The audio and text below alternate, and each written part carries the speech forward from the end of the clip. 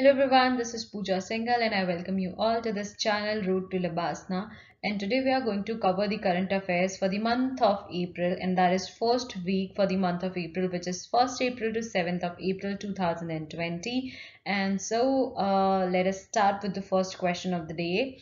And what instructions or what I want to update you before we start is uh, please read the question statement carefully before marking your answer because what happens most of the times आप panic state में भूल जाते हो question exactly क्या पूछ रहा है और जो आपको याद होता है आप सिर्फ वही mark कर देते हो answer so make sure to read the question carefully before you uh, mark the answer and uh, also uh, please pause the video uh, when the question is on the screen and try to answer it on your own and then again uh, you can play the video and can see the answer or the uh, detailed explanation.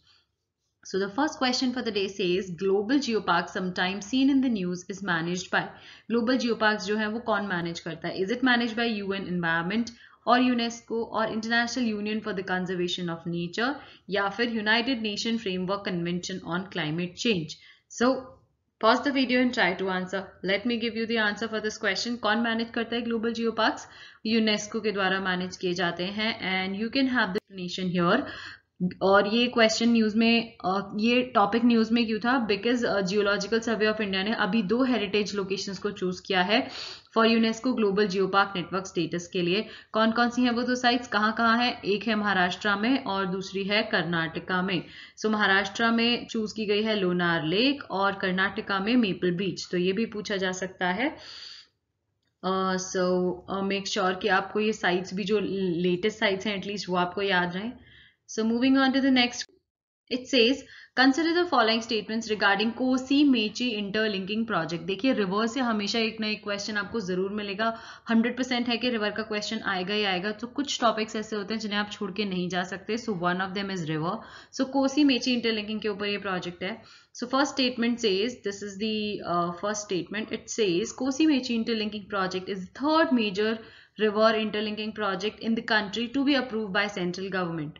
Second statement says Kosi is an international river originating from Tibet and flows through the plains of North Bihar. And the third statement says Mechi river is a tributary of Mahanadi. so, ये तीन statements हैं लेकिन इसके अंदर से आपको find out क्या करना है incorrect statement this is the last question आज की मैं आपको ये uh, पढ़ के बता रही हूँ कि इसके अंदर करेक्ट या इनकरेक्ट पूछा है या इनकरेक्ट पूछा है या करेक्ट नेक्स्ट क्वेश्चन से आपको क्वेश्चन स्टेटमेंट में खुद ध्यान देना है और अपने आप को एनालाइज करना है कि इफ़ uh, uh, आप ये वाला स्टेटमेंट गलत कर रहे हैं या सही कर पा रहे हैं सो so, उसकी on the basis of that you can जज योर सेल्फ कि um, आपको ये स्टेटमेंट पढ़ने की गलती हो रही है या नहीं हो रही है and you can improve So pause the video and try to answer. Let me tell you, it is asking the incorrect ones. तो कौन कौन से incorrect है First statement is incorrect. Why first statement is incorrect? क्योंकि ये third major uh, interlinking project नहीं है second है उसके बाद मेची रिवर किसकी ट्रिब्यूटरी है महानदी की नहीं है मदा की ट्रिब्यूटरी है and you can have the detail explanation on the next slide uh, this slide is uh, all these all the slides are available in my telegram group and telegram group ka link aapko niche comment section mein mil jayega so if you want to have the pdf uh, downloaded for this uh, current affair you can uh, go into the telegram group and download the pdf from there so first and third वो statements were incorrect first क्यों था? हमने बताया क्योंकि वो second major interlinking project है after Ken Betwa that means first आपका major interlinking project है केन बेतवा सेकेंड है कोसी मेची और uh, मेची रिवर किसकी ट्रिब्यूटरी है? महानंदा की. So that is the reason दो स्टेटमेंट्स हमारे गलत हो गए. Moving on to the next it says centre for augmenting war with COVID health crisis is a platform for which of the following किसके लिए ये platform centre for augmenting war with COVID so किसके लिए? ये medical health professionals के लिए या NGOs startups and innovation के लिए या फिर वेरियस गवर्नमेंट मिनिस्ट्रीज के लिए? सो get yourself ready with the answer. The correct answer for this question is option c that is startup and innovation. ये जो प्लेटफॉर्म uh, बना है ये किसके लिए है? स्टार्टअप्स और इनोवेशन के लिए बना है.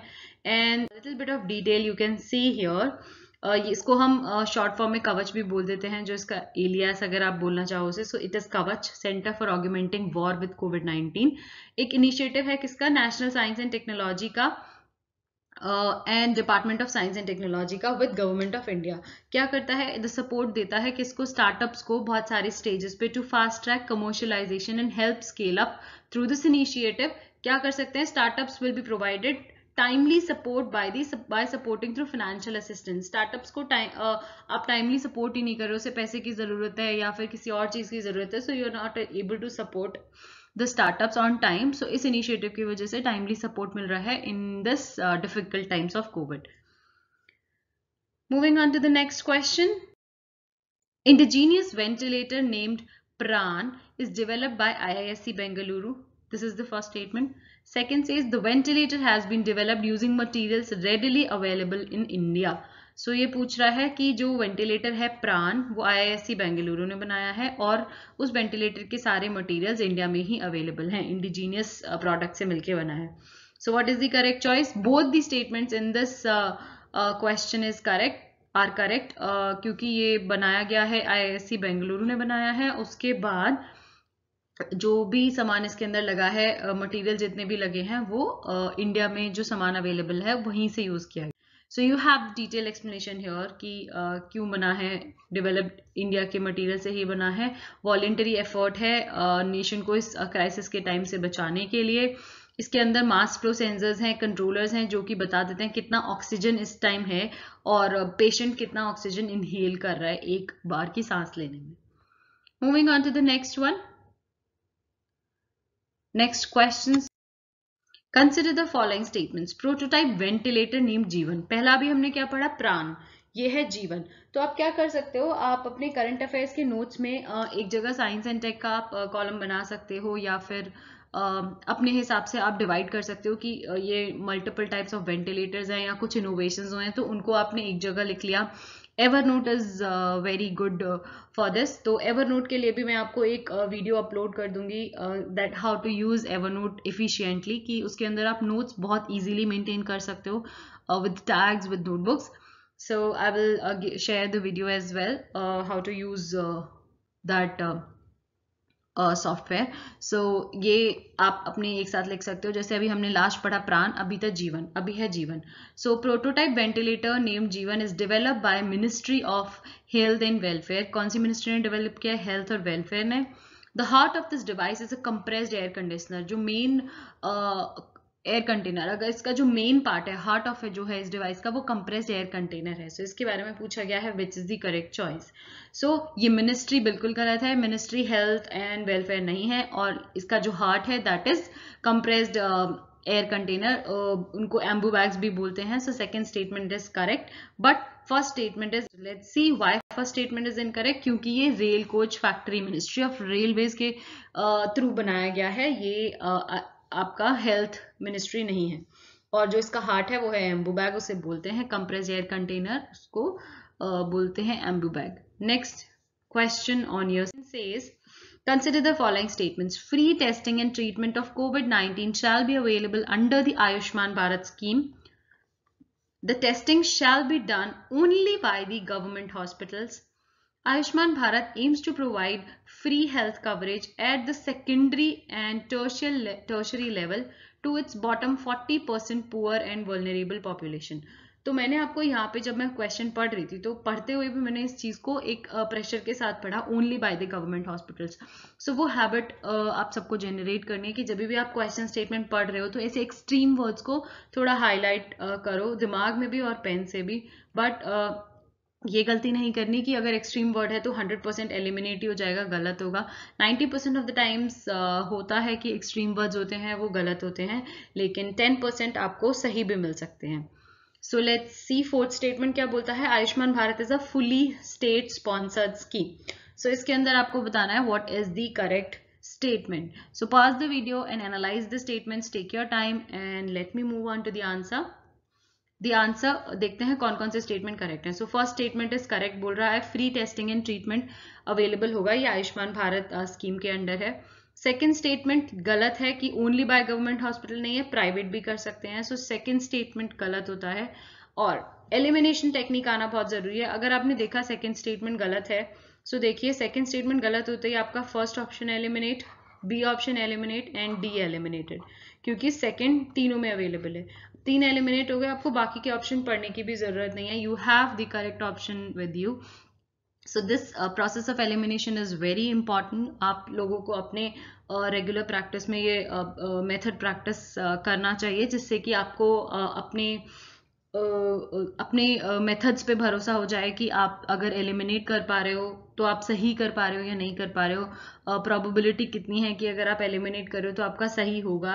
ये कितनी प्रोबेबिलिटी है कि अगर आपको 50 50 है दो ऑप्शंस में चॉइस है सो so आपका कित, आ, क्या चांसेस हैं क्या प्रोबेबिलिटी है कि आप सही मार्क कर रहे हो? सो so ये आपको अपनी एनालाइज करनी होगी स्ट्रैटेजी क्योंकि हर किसी की डिफरेंट स्ट्रैटेजी होती है।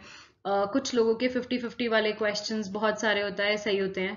50-50 अगर चॉइस है तो जनरली उनके सही होते हैं। बहुत सारे लोगों का क्या होता है अगर उनकी 50-50 चॉइस है तो मोस्ट ऑफ़ द क्वेश्चंस वो 50-50 में से गलत ही मार्क करते हैं। सो so, ऐसे सिनारियोज में यू नीड टू एनालाइज कि आपको मार्क करना है मेन एग्ज़ाम में या नहीं करना है।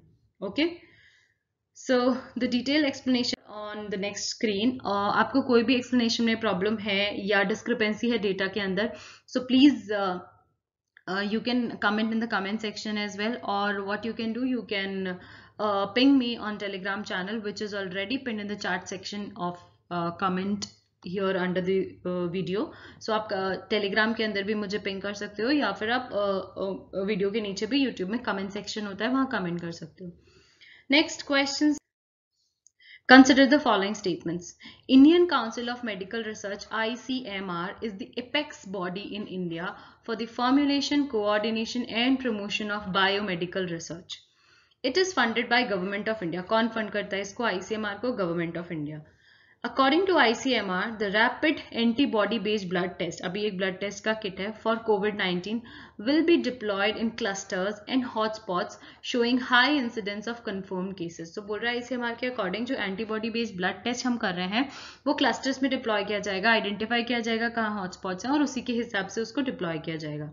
So the question is asking the correct choice please pause the video and let me move on to the answer option one says the Indian council of medical research this is the apex body तो ये सही statement uh, है बिल्कुल जो ICMR है वो apex body highest body है in India किस चीज़ के लिए? फॉर्मुलेट कोऑर्डिनेट और प्रमोशन ऑफ़ बायोमेडिकल रिसर्च के लिए.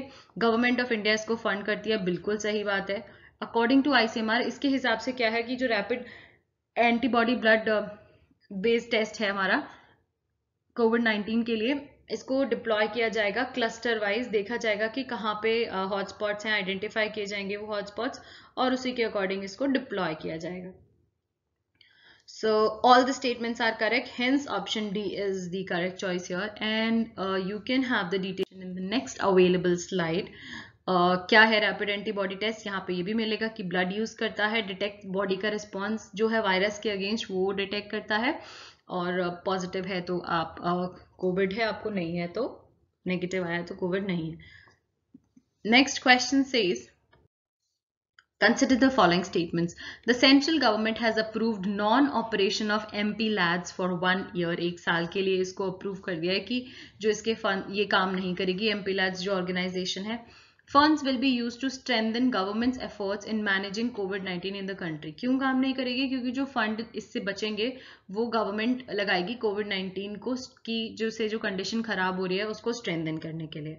So the correct choice here is only second statement is correct क्योंकि ये जो वन ईयर नहीं है, इसका आंसर है टू ईयर सो जो एमपी लैब्स की जो गवर्नमेंट ने अप्रूव किया है एमपी लैब्स का नॉन ऑपरेशन वो दो साल के लिए बोला है कि दो साल के लिए वो काम नहीं करेगी, और वो जो दो साल का फंड है, वो कोविड नाइन्टीन में यूज़ होगा। So second statement is correct but first is incorrect and there you go with the detailed explanation for this moving on to the next question it says consider the following statements malayan tiger inhabits the southern and central parts of the malay peninsula classified as endangered on I U C N red list so ऐसी चीज़ें generally आपको uh, कर सकते हैं क्योंकि ये याद करने वाली हैं तो इनको बदला जा सकता है so it's asking what is the correct choice तो इसके अंदर भी ये स्टेटमेंट इनकरेक्ट है एंडेंजर्ड नहीं है क्रिटिकली एंडेंजर्ड है जो मलायन uh, टाइगर है और ये सदर्न और सेंट्रल पार्ट्स में ही आपको मिलता है इसका घर। So the correct choice is option A and you have the detail explore कि ये क्रिटिकली एंडेंजर्ड है आईयूसीएन रेड लिस्ट में 2015 से। Next question says walk through mass sanitization tunnel has been developed by which of the following railway stations in India? Sanitization हुआ है, mass sanitization tunnel से निकलते हो तो sanitization होता है। कहाँ, कौन से रेलवे स्टेशन पे हुआ है इंडिया में? So the correct answer is Ahmedabad Ahmedabad में ये हुआ है अहमदाबाद के railway station so you can have the detail explanation कहाँ हुआ है। अहमदाबाद बना है first station of Indian railway जिसने ये मास सैनिटाइजेशन टनल इंस्टॉल किया है। उसके बाद कोविड की वजह से है ये 10 सेकंड में डिस्टेंस कवर हो जाता है। Tunnel is fitted with sensor इसके अंदर एक सेंसर लगा हुआ है, जो कि पैसेंजर जब उसके अंदर पहुँचता है तो वो फॉग स्टार्ट कर देता है। और ये डब्ल्यू का अप्रूव्ड सैनिटाइजर है इसके अंदर। और वेपराइजेशन प्रोसेस पे काम करता है वेपर निकल रही है उसके अंदर से, जो सैनिटाइजर का मिक्सचर है, उसको वेपर में कन्वर्ट करता है, जो कि एक uniform layer over the surface and dries up quickly sanitiser generally आपका नेचुरल सैनिटाइज हो जाते हो, आप वहाँ से हाथों पे घिस घिस के आप हाथ सैनिटाइज करते हो, ये आपको वेपर की फॉर्म में सैनिटाइज करता है। Next question is consider the following statements. The information generated by nadi is developed, is accurate up to 100 meters. This is nadi, n a a d i. is accurate up to 100 meters. Data science based tool NADI is developed by Center for Development of Advanced Computing. CDAC develop करता है किया है इसको और CDAC क्या है एक autonomous scientific society है सो so, क्या इसके अंदर सही है या क्या गलत है? सो फ़र्स्ट स्टेटमेंट जो बोल रहा है ये कहता है 100 मीटर्स तक एक्यूरेट है वो बिल्कुल गलत है। सिर्फ़ वन मीटर तक इसकी एक्यूरेसी है नाडी की। बाकी के दोनों स्टेटमेंट बिल्कुल सही है कि इसको सीडैक ने डेवलप किया है और सीडैक एक ऑटोनॉमस अलग से एक साइंटिफिक है। सो so, आप देख सकते हो इसके बारे में डिटेल एक्सप्लेनेशन यहाँ पे। ये टूल क्या है? नाडी का टूल है क्या? ये एक हेल्प करता है ट्रैक करने में मूवमेंट्स जो कोविड नाइन्टीन के पेशेंट्स हैं या जो क्वारंटीन किया हुआ है जिन लोगों को अक्रॉस द कंट्री उनके मूवमेंट्स ट्रैक करने में। और इसका नाडी का फुल फॉर्म है national analytical platform for dealing with intelligent tracing tracking and containment जो भी कंटेनमेंट जोन में है और जो लोग लोगों को क्वारंटीन किया हुआ है, वो अगर मूव करते हैं तो आप the information generated by the tool एक मीटर तक एक्यूरेट है कि वो पर्सन जहाँ पे भी है, उसके एक मीटर तक आपको एक्यूरेट इन्फॉर्मेशन ये देता है। Says, consider the following statements. Two recent inventions by National Chemis Chemical Laboratory includes thermometer and oxygen enrichment unit. Mobile phone or power banks can be used as a power source for handheld digital IR thermometer. तो ये बोल रहा है दो innovation हुई है recently किसने किया है नेशनल केमिकल लेबोरेटरी ने क्या क्या है? वो थर्मोमीटर है एक और एक ऑक्सीजन एनरिचमेंट यूनिट है। दूसरा स्टेटमेंट बोल रहा है कि मोबाइल फ़ोन या पावर बैंक जो है वो पावर सोर्स का काम कर सकते हैं ये जो थर्मोमीटर बनाया है इसके लिए। सो so, क्या सही है या क्या गलत है? Pause the video try to answer it on your own और उसके बाद आप वीडियो uh, प्ले uh, कर सकते हो टू गेट द आंसर तो करेक्ट आंसर क्या है? बोथ दोनों स्टेटमेंट सही हैं, अभी बनाया है, दो दोनों इन्वेंशन हुए हैं और इसके अंदर थर्मामीटर के अंदर मोबाइल फ़ोन या पावर बैंक का इस्तेमाल किया जा सकता है इसको चार्जिंग करने के लिए पावर सोर्स देने। नेक्स्ट क्वेश्चन उससे पहले डिटेल एक्सप्लेनेशन है ये, इनका थर्मामीटर और जो नई इनोवेशन है उनके बारे में ऑक्सीजन एनरिचमेंट यूनिट आप डिटेल इसके बारे में थोड़ा यहाँ पढ़ सकते हो। कोई भी प्रॉब्लम है so please ping us on the Telegram channel which is mention in the comment section या फिर आप डायरेक्टली वीडियो के कमेंट में भी मेंशन कर सकते हो।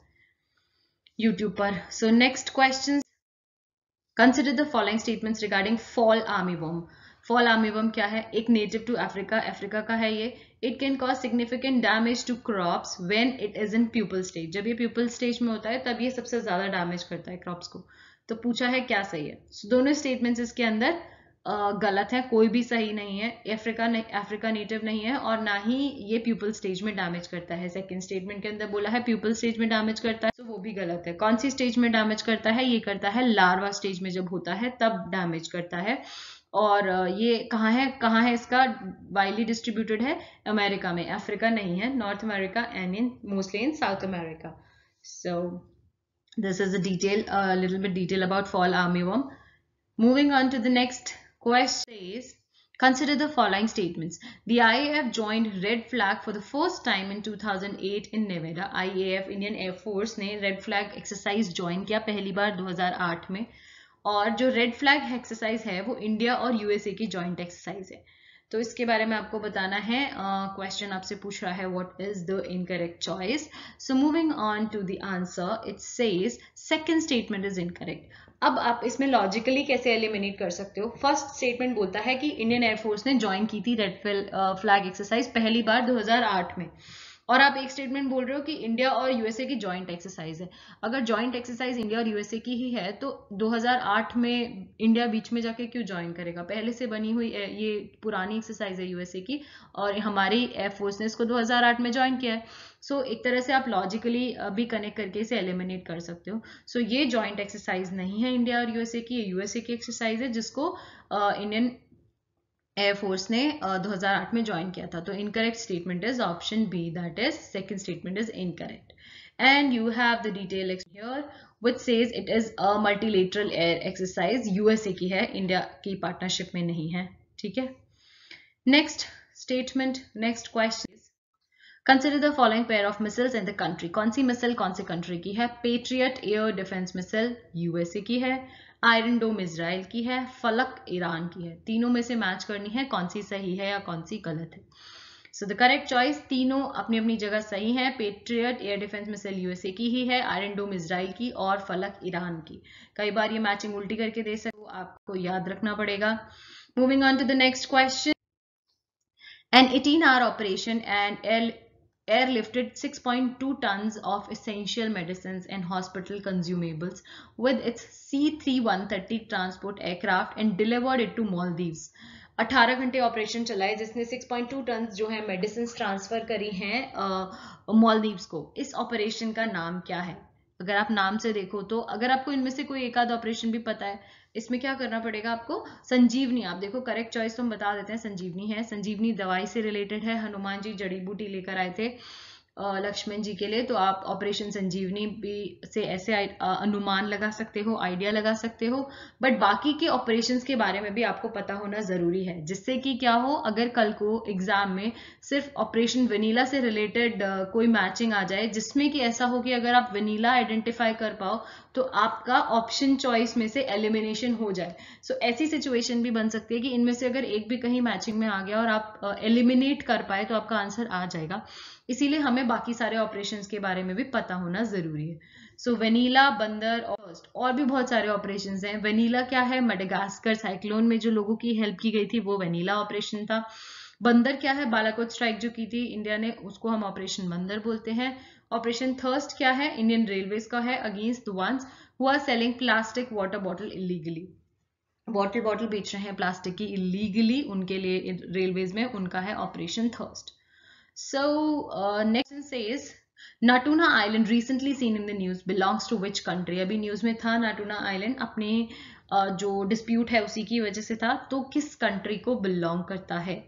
So correct answer is Indonesia Indonesia का वो आइलैंड है लेकिन चाइना ज़बरदस्ती उस पर अपना क्लेम करता है। साउथ चाइना में हेलन ये देख सकते हो आप इसकी position I think I have skipped this slide by mistake so you can see the location in the map China उसके ऊपर अपना कब्जा जमाने की कोशिश करता है बट वो आइलैंड है इंडोनेशिया का So next question says, the United States Virgin Island banned chemical and physical sunscreen products known to be harmful to coral reefs and marine life. ये बोल रहा है कि जो वर्जिन आइलैंड है यूएस का, उसने केमिकल और फ़िज़िकल दोनों सनस्क्रीन प्रोडक्ट्स को बैन कर दिया है, जो कि कोरल रीफ्स के लिए हार्मफुल थे और मरीन लाइफ के लिए भी। फिर बोलता है, जो वर्जिन आइलैंड है, वो द फ़र्स्ट है यूएस में इसको इंप्लीमेंट करने वाला।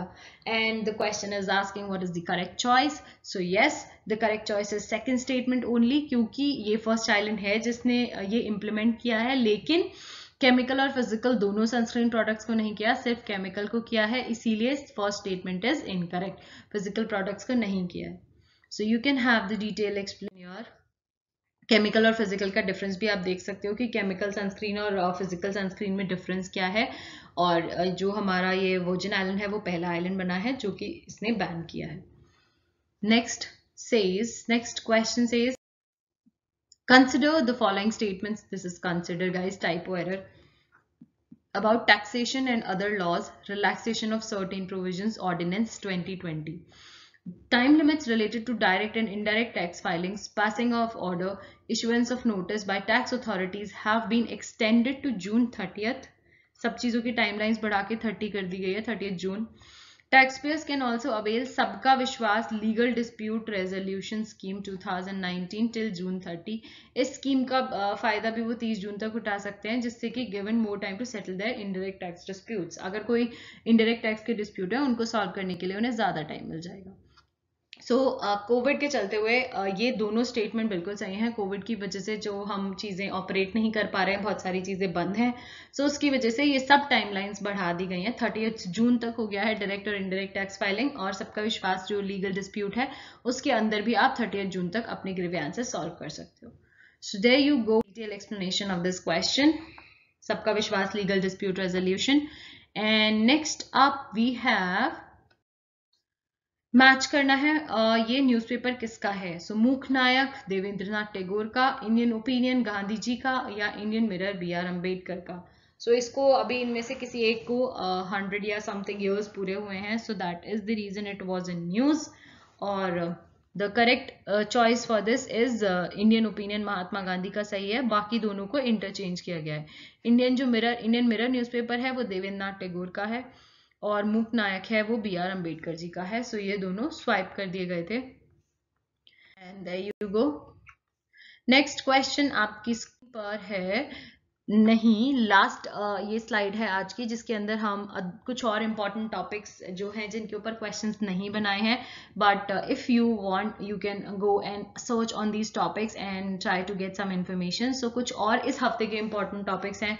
करुणा इनिशिएटिव है एक civil services association reach to support nation disaster जो सिविल सर्विसेज़ के एसोसिएशन के लोग हैं, वो लोग भी डिजास्टर में कैसे हेल्प कर रहे हैं, उनका इनिशिएटिव है Karuna personal protective equipment develop by DRDO DRDO ने ये पर्सनल प्रोटेक्टिव इक्विपमेंट डेवलप किया है और एक जियो फेंसिंग लगाई गई है जोग्राफिकली फेंसिंग जो लोग कोविड से ग्रस्त हैं या फिर जिनको जो क्वारंटीन लोग हैं उनके लिए जियो फेंसिंग की टेक्नोलॉजी बनाई गई है और बीसीजी और कोविड 19 के बीच का link it's not that important but yes if you want you can search on these topics. And if you have some uh, in the in today's video please uh, come back to me via the telegram channel or in the youtube uh, comment section. And if you like this video give me a thumbs up and subscribe to the channel jisse ki aapko next videos ka update jaldi mile and please share it with your friends who are preparing for these um, uh, exams so that they can also get the benefit. aap ek hafte ke pure news aadhe ghante mein cover kar rahe ho and if you want if you'll watch this video on 2x you'll be able to cover all the current affairs questions for one week in 15 minutes. And this is my guarantee I am creating this question on my own so ये कहीं से आपको ऐसा नहीं है कि copied question हैं, एक जगह मिलेंगे। सो so, पूरे नए क्वेश्चंस आपको यहाँ मिलते हैं पंद्रह मिनट में एक हफ़्ते की news so thank you so much stay tune and subscribe to my channel जिससे कि नेक्स्ट वीडियो के लिए आपको अपडेट मिले. And see you soon guys